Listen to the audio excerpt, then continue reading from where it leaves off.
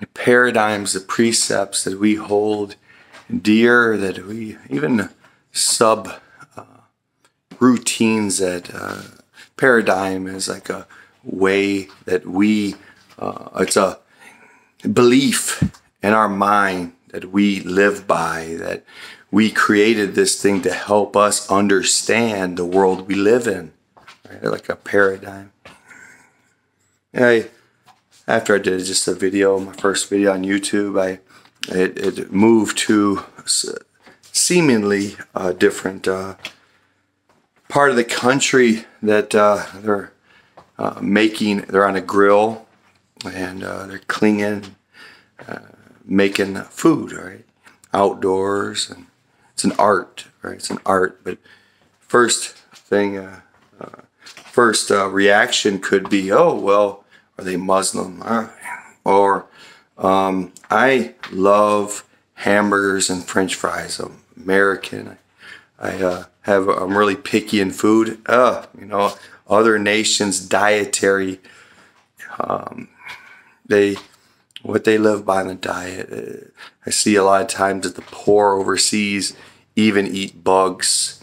Um, it's a taboo in America not to eat a bug, but uh, as the first uh, the first uh, of paradigms that come to mind is foreign food, foreign people. I don't even get along with Americans for the most part. Not uh, well. I mean, in a many in a context, a certain context. I don't want to curse myself as to that being the absolute fact, but I um. But then the second one is, oh, you know, this livelihood. You know, he's um, good in his craft. He's clinging and and uh, uh, making it a show for people that that see him cooking. Uh, these these uh, Arabics or Indian people or what have you, whatever nation they're from.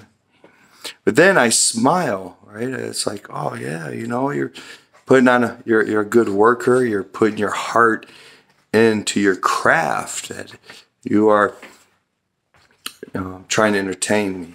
I smile, oh, you're beautiful, you know, and then then I walk away and I'm thinking, okay, what does that do to people?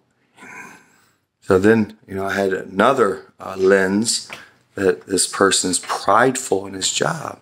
We all, who hasn't been prideful and excelling at uh, what uh, they do? So, what would by what would be the right lens to go by, right? Uh, first of all, I'm offended. I don't. I eat hamburgers and French fries. I don't want to eat bugs. I don't. I'm not saying that there, there was bugs that he was cooking, but it's a, a, paradigm in my mind that makes me think, oh, you, you know, just going up to a vendor in another country, you don't know what you're going to eat. So, nah, I'm just going to find a McDonald's or something. Hopefully, I'm not in India.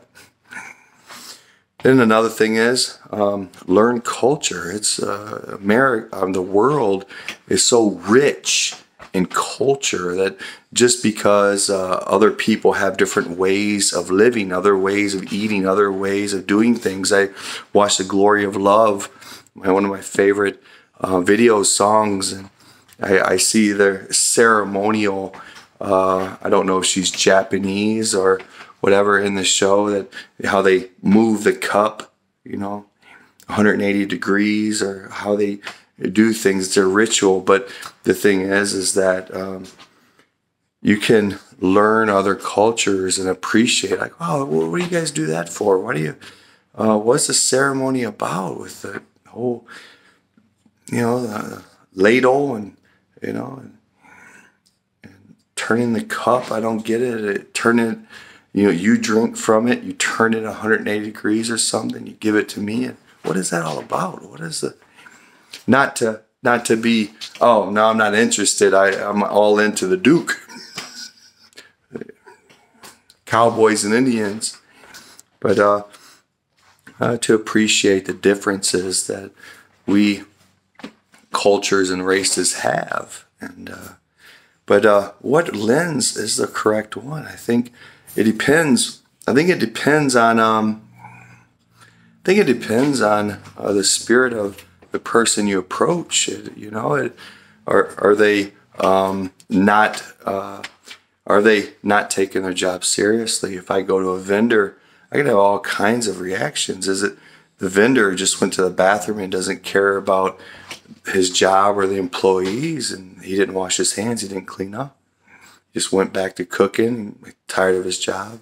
So I'd be, a, no, I'm have that kind of reaction, or should I see a guy that's doing a show and he's doing it because he loves people and he wants people to be happy to have smiles. And i sense that from him and hey how you doing man? Tell me about yourself. You're pretty good at um, your job. This is really cool. How long you been doing it? Or should i go on there and yeah, yeah pride is a hard one to beat. I, I get prideful on top of that mountain in your job. Try to